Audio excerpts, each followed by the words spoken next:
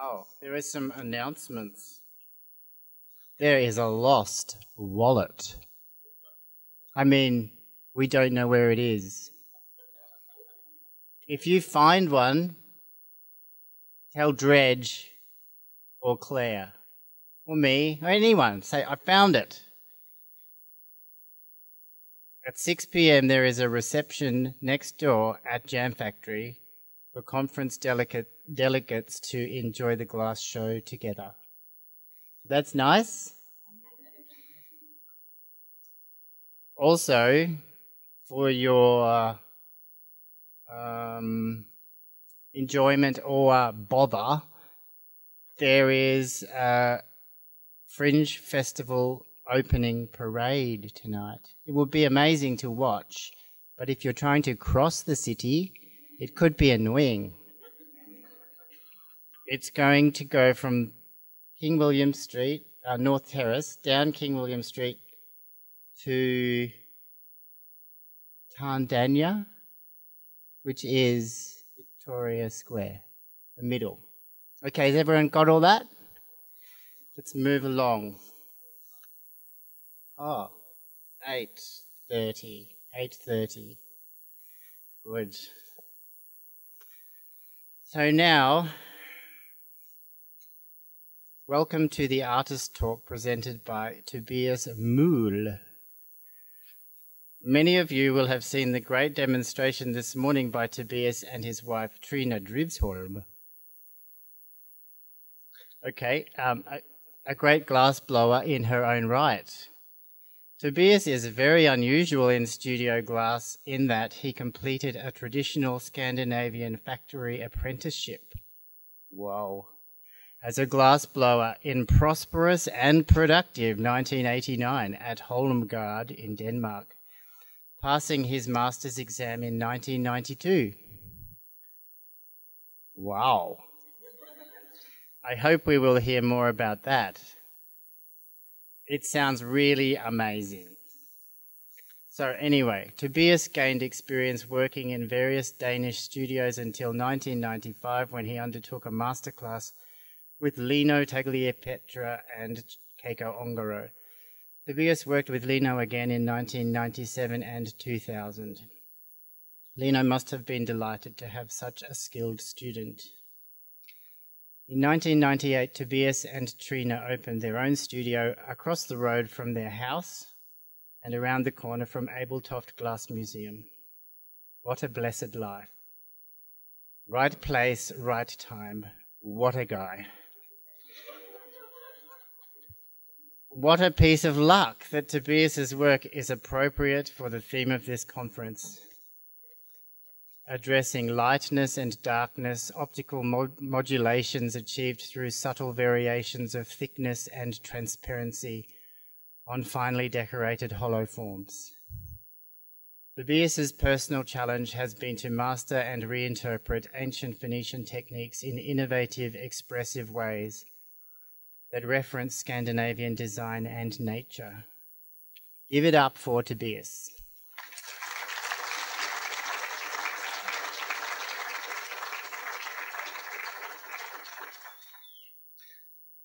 Thank you. Thank you very much.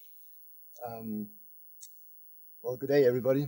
I am Tobias, and um, I am very pleased to be here. Tobias, Tobias, that's the potato, tomato, or potato, uh, was it? yeah. um, yeah, I'm very pleased to be here, and I would like to thank Ausglass for inviting me here. Uh, this has been a great opportunity for me and my family to actually come to Australia um, and um, We've actually been here for a month now and traveled around, and we've had a great time here. I have to admit that um, coming from a small place like Denmark, it took some overwinning of our different fears from everything from spiders and snakes and scorpions and 4X and sharks and whatever is out there that can uh, kill you. but um, we are alive, and uh, I'm very pleased to be here. Well, thank you. um, now, since I am from the other side of the planet, basically, I thought that um, I would take the opportunity to show you a little bit about what goes on in Denmark, what it looks like where I'm from. I'm from a small city called Ebeltoft, and um, I just brought through a few slides of um, what it looks like there. and what we do there. Um, now, as it is required, all Danish presentations must begin with a picture of the Danish queen, and here she is, Queen Margrethe, and her Prince Henri from France. Um, you may keep seated. I will do the. Okay. Is it better now? You may keep your seats. I will do the standing up here for the um, Majesty. Um, I have to admit, I don't usually pay a lot of attention um, on the royal act activities, but um, in fact, the royal house is what have made Australia and Denmark one happy family due to this little lady, the beautiful uh, Princess Mary, directly imported from Tasmania, and now married to the Danish crown prince, uh, who is to become the king very soon. So we are going to actually have an Australian queen. Wild. Um, and as you can see in this picture, the crown prince is really pleased about it all. apparently, apparently um, Denmark and Australia have now been uh, working on their uh, friendship in both uh, in both uh, business and in culture, which is probably why I've been invited here, I guess. Um, now, how does this work? Can you see? Just tap it. No. Just. Oh, I think I have to tap down here. Yeah. So, well, yeah, just to show you how far away I'm actually coming from. We were at Adelaide here at the Jam Factory, and now we are zooming out. And here we have to spin the Earth one half, and then we fly down. Woo, and we are in Ebeltoft. what incredible computer skills my assistant has. So this is Ebeltoft, and uh, this is just right outside my studio. Um, so um, Denmark is a small country. We have five million people, and the whole of Denmark fits within Australia 188 times. And uh, we are uh, located in a town called Ebeltoft on the east coast of Denmark. As you might notice, it says, oh, here you can see it, it says Møhl and Drivsholm on the sign. So Møhl is me, and uh, Drivsholm is my wife, Trine, who I run this place with and have done for the last uh, 18 years. Um, we've set up the way it's usually done in Denmark with a studio and a gallery together. Um, so for many years, all of our sellings were going straight through our own gallery. Now, for a while, that has been different for me since uh, most of my work, or all of my work, has been sold through different galleries in the States and in London. Um, outside our studio, it looks like this. We're based on the old fishing harbor in Ebeltoft. And um, um, there's not a lot of fishing going on, but it's still a nice environment and um, a nice place to be. Um, here you can actually see to the right, uh, the White House is our studio. To the left is actually where we live. Um, and here we are looking over the bay of Ebeltoft. This is, I have to admit, this is taken on a really nice and calm day in the summer right now there's probably uh, ice on the water and uh, a lot of snow. This is taken from inside our studio. And here we see the, the couple uh, working in peace and harmony. That's, that's also taken on a, on a calm day. Um, and um, this is what the studio looks like. Um, this is actually our second attempt of a studio. We um, the first one, um, we built it um, 18 years ago, and this one is about six years old, and we made sure that it was made uh, right this time with uh, good lighting and um, uh, space and ventilation. I just put in this one to brag about my fancy glory hole door. This is a, a, a pneumatic glory hole door that works as a camera lens, and it is awesome. You can buy that for money. Um, this is uh, Ebeltoft. Uh, this town is about 750 years old, and um, most of the houses uh, are probably from the 1500s. This is uh, uh, downtown Ebeltoft. There are newer houses too in Ebeltoft, but sort of the center is very well preserved. Um, the streets look something like this. coming from Europe, it always um, strikes you coming to a younger country that there's uh, nothing that looks old. And on the other hand, I think that you must think that it's really weird that we live in these kind of hobbit homes, but these are actually uh, uh, popular and nice homes to live in. around Ebeltoft, it looks something like this. Um, actually, I think it's one of the nicest areas um, there is in the country.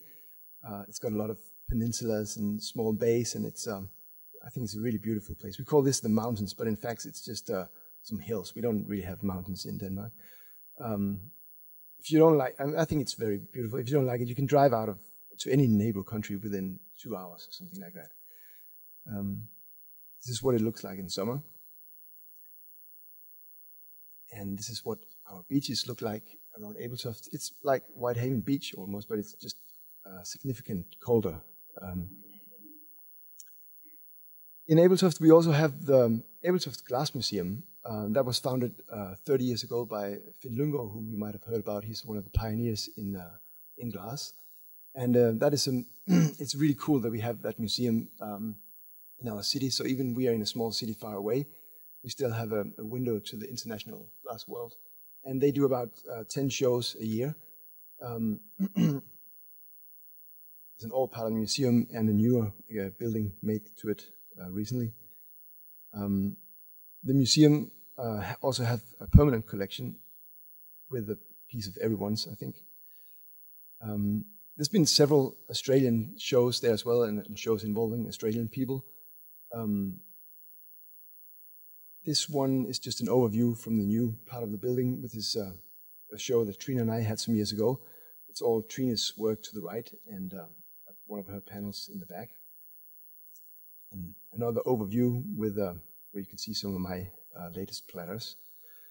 Um, the, the museum does a lot of, of uh, different group, group shows and competitions, and I, I, just find this one from 1997. This is uh, from the Young Glass show that was totally dominated by Australian glass people. Uh, Stephen Proctor came out with all of his students, and uh, they won all of the prizes and left again. And uh, here's Claudia Borella um, receiving her prize.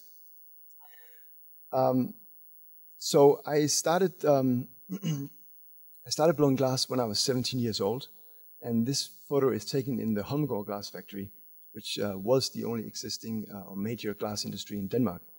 Um, it is closed now, like a lot of the other um, Scandinavian glass industries, but back then it was alive and kicking and uh, was a good business, owning big parts of the Swedish uh, glass industry. And at one point, it even owned uh, Venini glass in, in uh, Murano. Um, I had seen glass blowing many places since at that time a lot of small studios were popping up everywhere around the country. Um, and someone suggested that I should try to get an old-fashioned apprenticeship uh, in one of the factories or in the in the factory. Um, and I managed to do so. It wasn't actually the sort of job that I was hoping for. Um, the environment was very different, and it was nothing like the hippies that I've seen blowing glass around the smaller shops.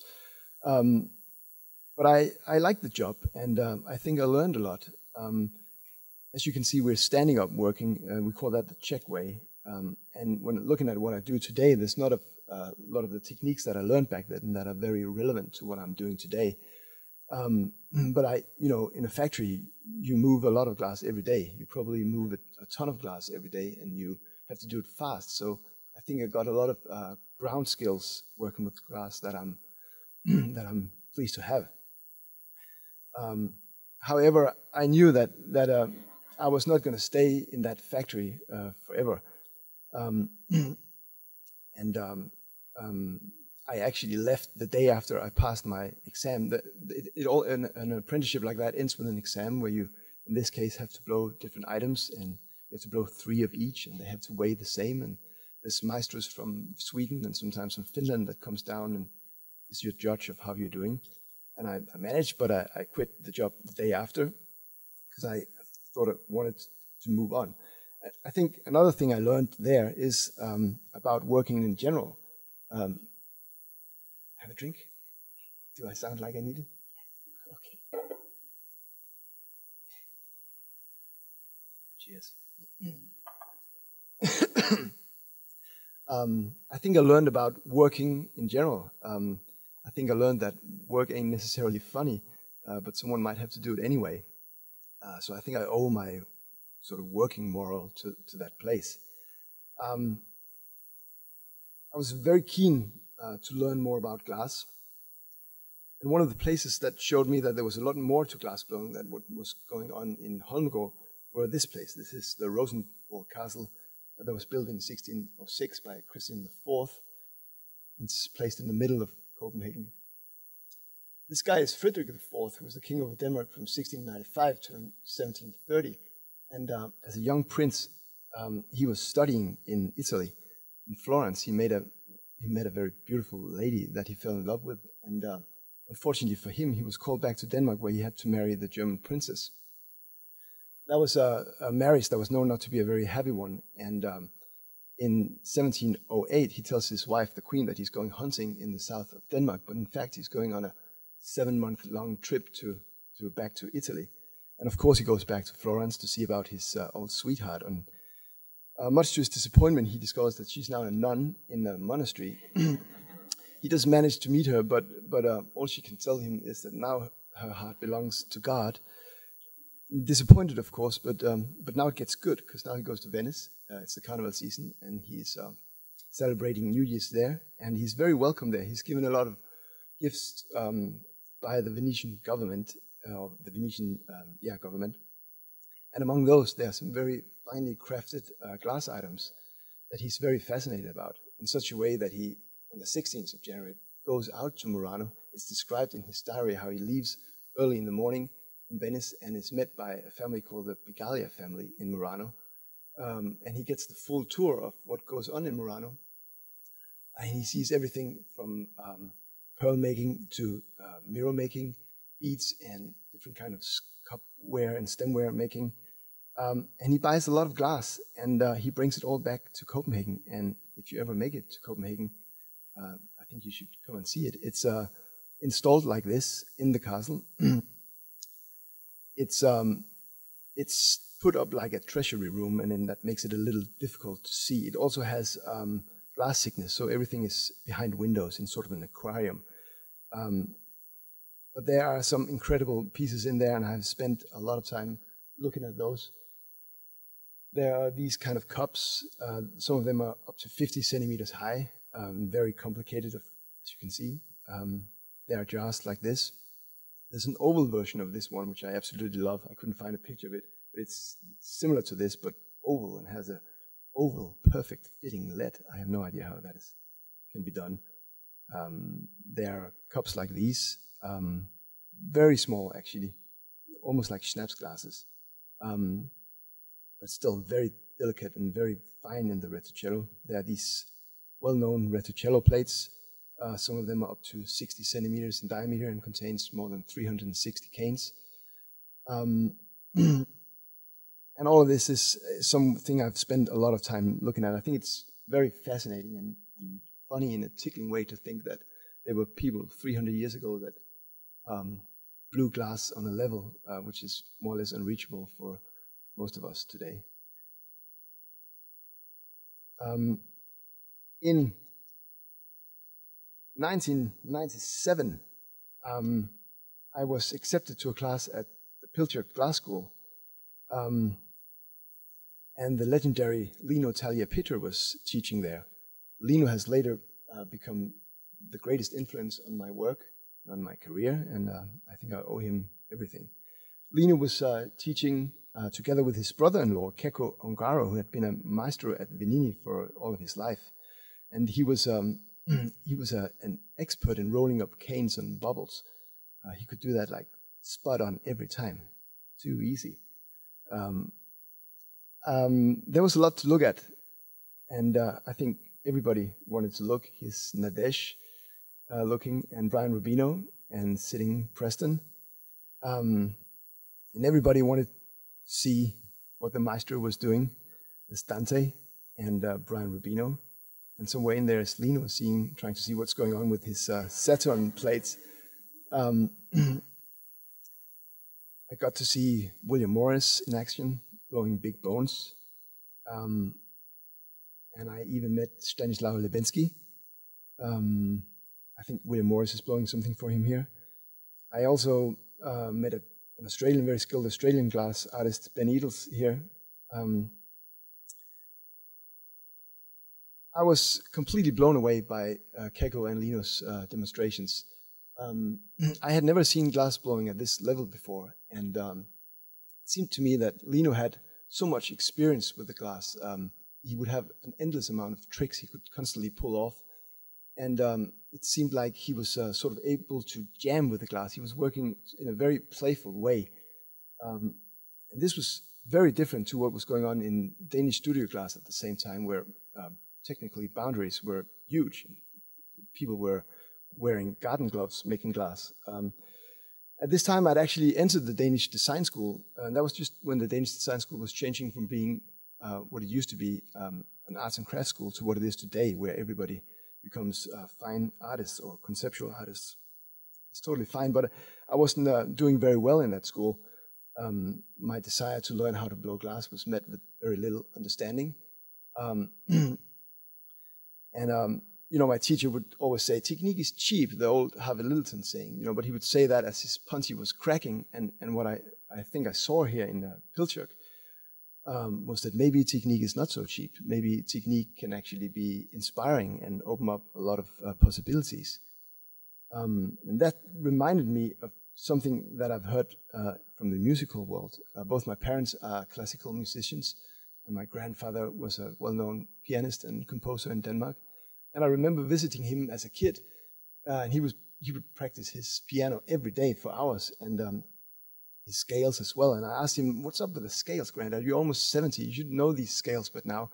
And he answered something like, "Well, the more you practice your technique, the more ways you know how to press the key, and the, the more you can variate the sound on your piano, the better you can express yourself in the music." And that's um, what I felt here, and that's I thought this translated very well to what I saw was going on here um, in Pilchuck. Um, of course, the old Harvey Littleton saying makes perfectly sense. Um, we all dream about creating new and incredible and exciting pieces in glass, and that does take more than technique. Um, anyway, I left the Danish design school um, in order to try to uh, learn how to blow glass better. Um, Trine and I got um, set uh, started uh, with our own business at a pretty young age. I was 25 when I bought our first house. Trina was still in school, and um, I was setting up the studio uh, while she was finishing that. So by the age of 26, we were actually established with our own studio and uh, were able to support ourselves selling through uh, our own gallery. Um, um, and so there were uh, plenty of, of, of, opportunity for me to to practice. Um, and I practiced um, uh, cups like these, and I um, practiced the, the classical uh, ways of rolling up cane, um, and more cups. I think you have to be quite determined uh, if you want to be a decent glass blower. Um, I think glass blowing is difficult. Um, you know, it takes a while before you can even get the glass out of the furnace. It takes me took me maybe a year before even my own mother would want to own anything I, I've made, and she even thinks I'm born with a talent. Um, but um, um, as I was uh, practicing and getting better at making dolphin cups, um, I was also realizing that the Venetian style were not at all within the style that I liked. The way the classical Venetian uh, style is seen as flamboyant and complex in both form and color I was much more attracted to uh, the Scandinavian tradition, where simplicity is a key word. Um, in 2002, the William Traver Gallery in Seattle gave me a solo show. Um, and that was one of the first times where I had to put together a larger group of work. Um, and I knew that I wasn't going to be able to impress anyone in Seattle with my technique. So if I was going to have any luck with that show, it would be depending on my ability to find sort of my own voice in, in glass. Um, so I started in sort of a primitive way, uh, simply by chopping up all the cane, laying them down as mosaics, and, and rolling them up. Uh, and this is um, some of the pieces that I that I baked it uh, back then. Um, so they are maybe up to 70, 70 centimeters high, and they are uh, sandblasted surface and brush polished. Um, I also made uh, this, these kind of bowls. This is um, like a Reticello bowl in some ways. Um, it's a double bubble and it's sort of an over twisted um, caning with a thick spiral on the outside that, uh, that I try not to melt out too much so it stays with an optical effect. I also made um, these platters, um, upstanding platters. There was, a, I think, a group of seven altogether. And um, the little image in the center was sculpted or finished on the pipe and then stuck on the backside of a bubble that then was opened up as a, as a plate to 50 centimeters in diameter. I think um, the idea was that as the viewer would approach the, the room, there would be all these different images uh, on, on the center of the plates, different shapes, different outlines, and then as approaching the piece, there would be this extra dimension of, uh, of detail. Um, we all have sort of different personalities. Um, so um, I, um, I like to point out that I have only aesthetic uh, reasons for what I'm doing in glass. I have no uh, theme or subject or something like that that I'm trying to communicate rather than my uh, aesthetic decisions and concerns. Um, and I, what I do is I basically use my uh, technique I, that I've learned and I try to use it in a Scandinavian way rather than a Venetian way. Um, and I try to keep my eyes open when I blow glass and I hope to find small details that when used in the right context becomes interesting and adds a refinement to the end result. Um, I dream about creating uh, nice and clean and simple shapes, and I hope for my patterns to have uh, be textile and delicate and, and um, have um, optical effects as well. Um, so a pattern like this one, uh, I'm very pleased when I find that because it has some of the, the, things that I'm looking for. It's textile, it's got some depth, and, and it's got a lot of detail. Um, so I'm very pleased when my research um, gives me something like this. So I, I celebrated making that in, in black as well. Um, and this whole technique of making cane, chopping it up and rolling it up again, I've, this is what I call Glass Weaver series. And I've made um, a bunch of these over the years, and um, I have about 30 uh, different patterns that I feel comfortable about using. And I, have just got a bunch of slides here of details and uh, some different shapes where I've used the technique. Uh, and I think I'm just going to click through them without uh, too much talking.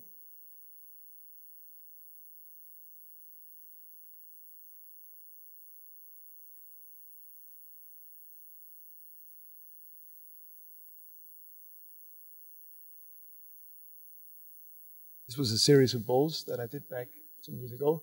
Uh, the surface is uh, diamond uh, cut, and which leaves that little point uh, in the bottom of the bowl.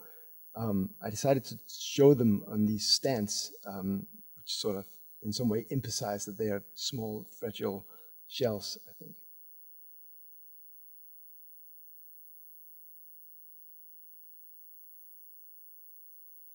These are some um, vessels that I did recently. Uh, they're about 70 centimeters high. They have quite a lot of volume to them, sort of American middle size.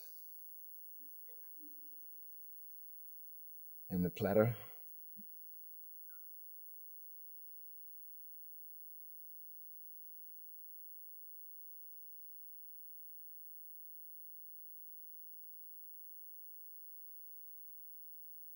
a lot of my work I show in lightboxes. Um, it started really as a concern of how my work would be presented.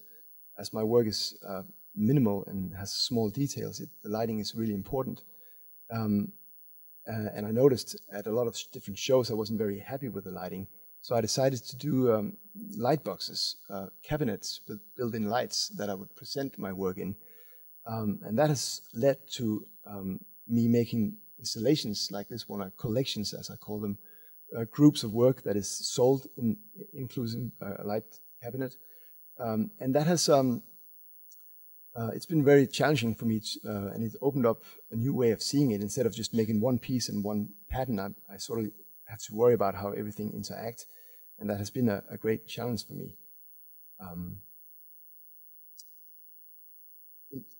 some ways, for a while, I was a little concerned about my work needing a wire and electricity to actually function because I was starting to make patterns that were, needed more and more the light from the light box.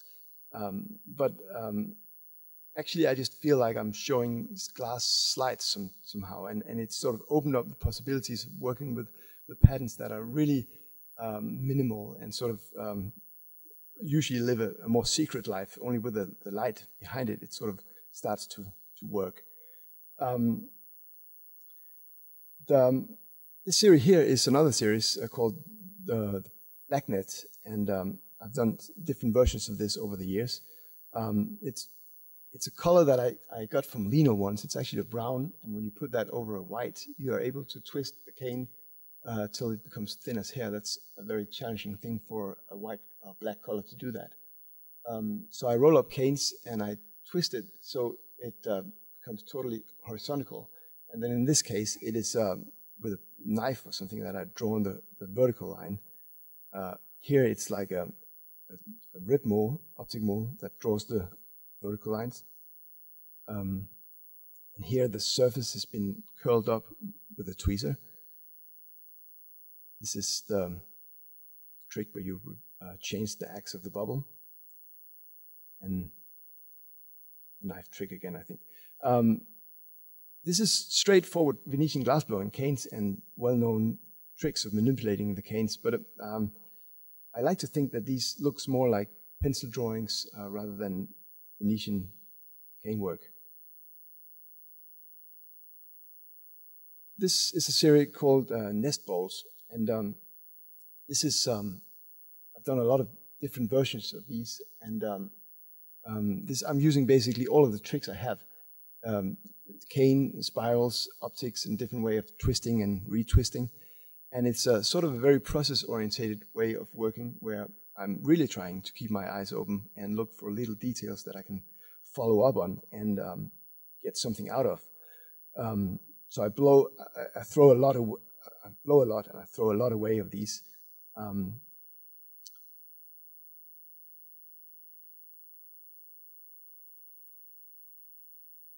I think this is a, an example of, of um, why technique ain't cheap. I don't think it's really possible to, to design something like this using a computer or a sketchbook. This is very much um, a result of having hands-on.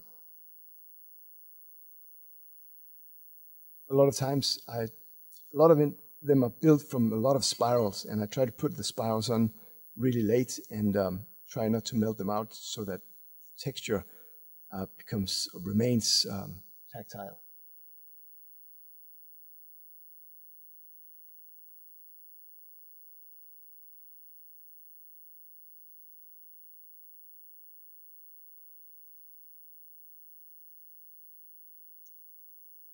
And also these I am presenting often in different, um, different sort of cabinets um, that brings out the details.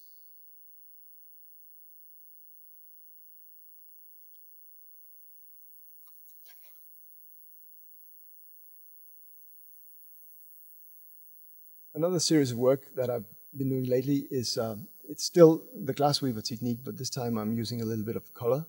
Um, and the color um, gives me, so I'm, I'm, trying to use the color in a way where it doesn't take away the, the graphic design from the, the piece. Um, and the color opens up something else. Um, all colors melt at different temperatures. And uh, so when you have a piece like this that has blue areas and uh, gray and clear areas, um, once you start blowing up the piece, the blue areas will eventually stretch more because they have a lower melting temperature, and that makes the surface very bumpy, and it gives a, a, a very nice optical effect to the pieces, I think. And of, it's a little bit like if you're looking in water or over water,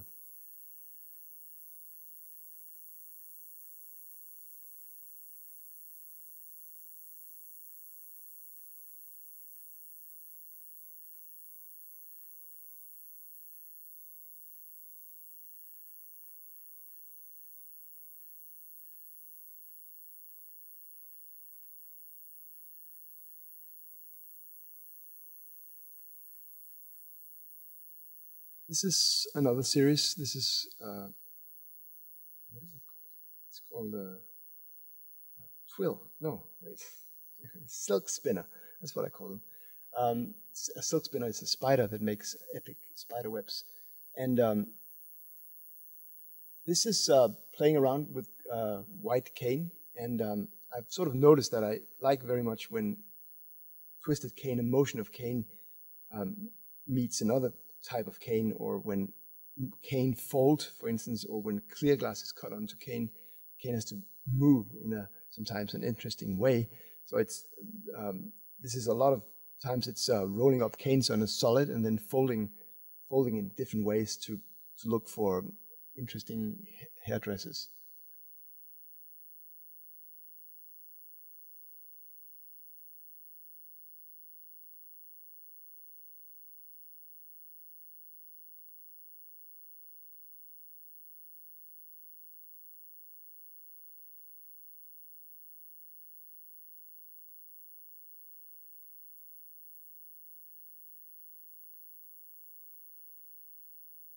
This is a little bit the same uh, technique, um, but here this is called black twill, and here I am uh, looking for for patterns uh, or the caning to do something that doesn't look uh, too precise or um, doesn't look too graphic. I'm looking for patterns that looks like they maybe could have grown in nature.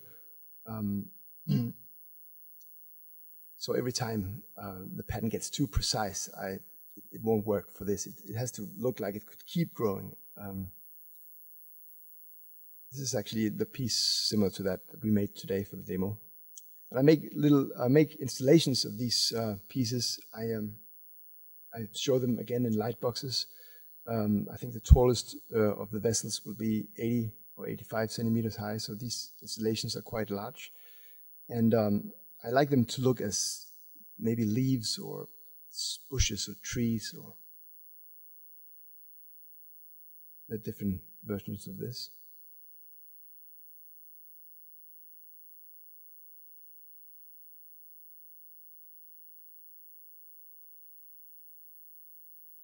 These are some cylinders that I've done recently. Um, it's like an incalmo piece where the, the color is only in the bottom, so the color won't actually interfere with the, with the patterning. Um, the surface is uh, cut, diamond cut on the outside, and uh, then it's brushed polished back to almost shiny.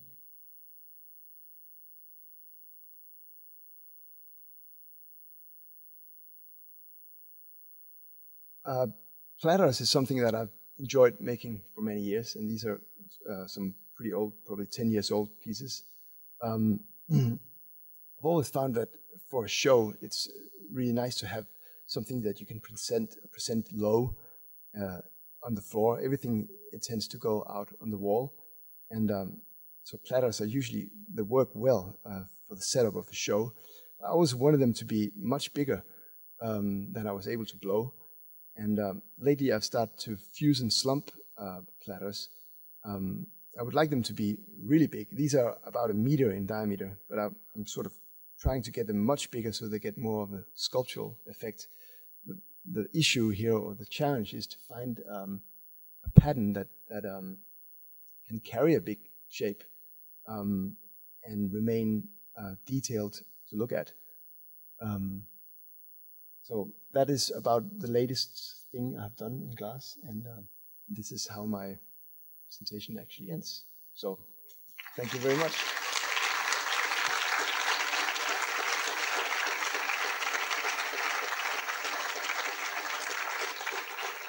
You, will you take questions?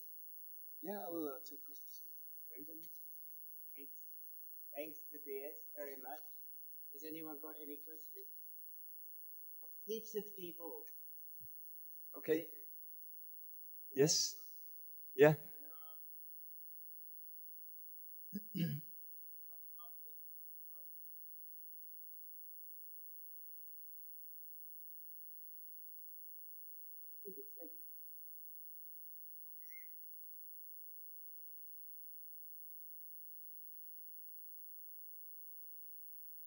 Sorry, I mentioned that what, sir? how we were using to have that signal set up. I uh, don't know.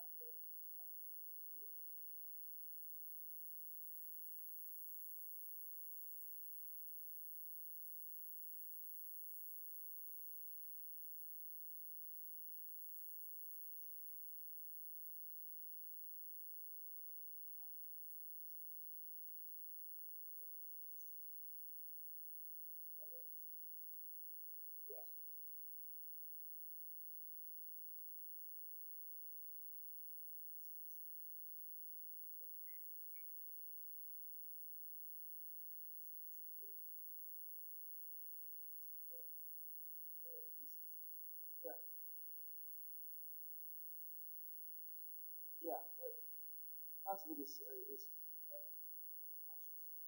yeah. Um, I, in, in fact, I'm probably more interested in the patterning, um, and I would like the shape to be uh, as simple and as precise as possible, uh, to not interfere with, with the pattern. Um, um, so I think that's why I try to make my shapes really, really clean. A lot of the oval shape, which I'm using a lot, is because that usually adds a lot to the pattern because you're suddenly seeing a double wall um, yeah.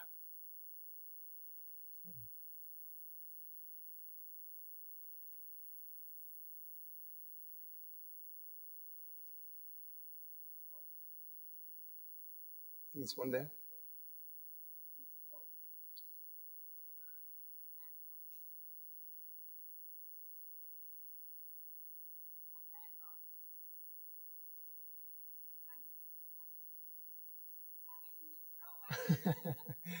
um, I think on a, um, I don't throw away as many as I used to, but uh, but uh, uh I think um, maybe I throw away uh, probably twenty percent. I think still, uh, but it you know I might throw it away really early in the process. You know I, I would. Um, many times it's actually during a mistake that you realize, oh, here's maybe a little way the cane curled that could be interesting if you if you take follow up on that. So so um, it's sort of um, it's very rare that I wake up with a brand new idea. Everything I, I do is actually crawling very slowly forward and trying to refine what I did yesterday, really.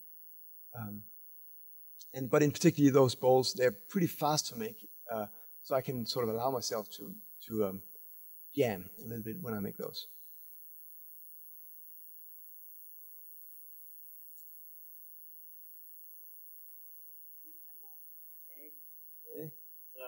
I think maybe there was one. Yes.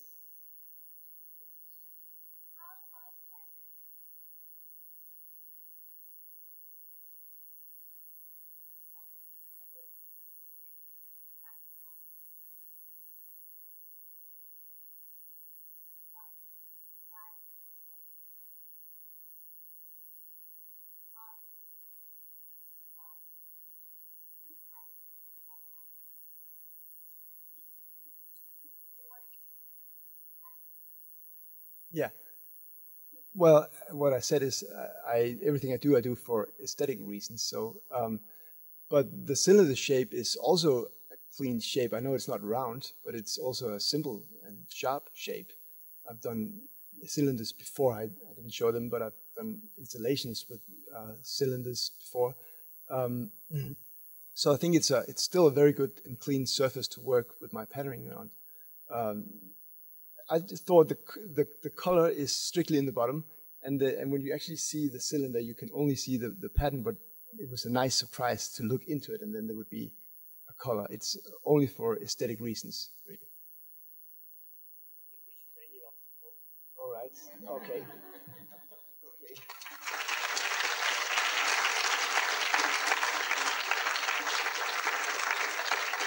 So